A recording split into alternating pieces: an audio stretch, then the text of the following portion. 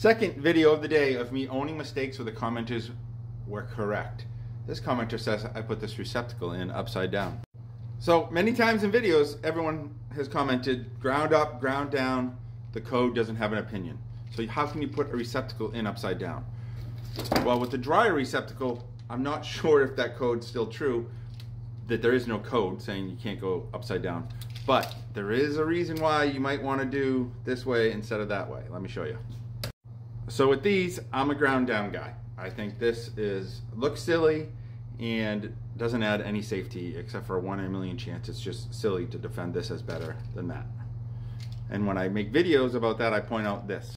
Now I say ground up, ground down, it's irrelevant.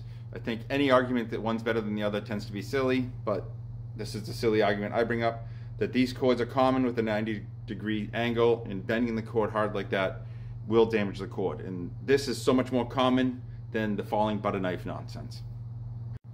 Now dryers have a 90 degree cord on them. Which is on top?